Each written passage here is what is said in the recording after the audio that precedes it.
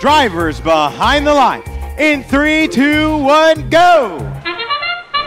Ladies and gentlemen, just like that, the autonomous period begins in qualification match number one here at the South Florida Regional with just five seconds left in autonomous 4065 Nerds of Prey safely engaged on the Red Alliance charge station. With that, drivers take control and they're looking to obtain here whether it's a cone or a cube and get those placed on the grid. Nerds of Prey tossing up and safely stowing that cube on the top shelf. 7,500 Marauders looking to do the same here, but on the middle row for the Blue Alliance. Red still holding out that lead thanks to the autonomous 26 to 10. And it looks like a little bit of maneuvering around the center of the field there. 1744 Robo Rays looking to get that cube in their possession, but defense being played here by 348. One minute, 30 seconds remain in this match. And Pizza Bite Robotics looks to grab that cone off the shelf here in the portal arm going out.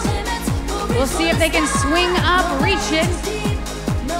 Meanwhile, their alliance partner, the Marauders, looking to safely deposit yet another cube on that middle row, making it up and over the charge station safely. One minute left in this match. Blue trying to catch up here from their deficit. Currently 35 to 18 in favor of the red. Look like Nerds of Prey trying to make sure that cone is safely in the hybrid node. And a cube alongside it. We'll see if they can finish out this link here. That'll be worth some great points, help them maintain the lead if they can just slot it into that hybrid node here on the ground. 33 seconds remain, folks. We're about to head into the end game period. 7,500 looking to complete a link here for their alliance. Over in blue, if they can just get that cone up to that middle node.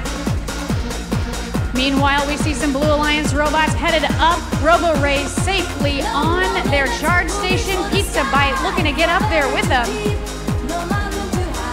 Norwell Robotics looking to try and join their Red Alliance partners here up on the charge station. They may not be able to do it with one second left. Time expires. Looks like Red does have a strong lead, but will the first win here at the South Florida Regional in West Palm Beach. Final score 57 to 24. And teams are up in those rankings. Ladies and gentlemen, I'm looking forward to a phenomenal set of qualification matches.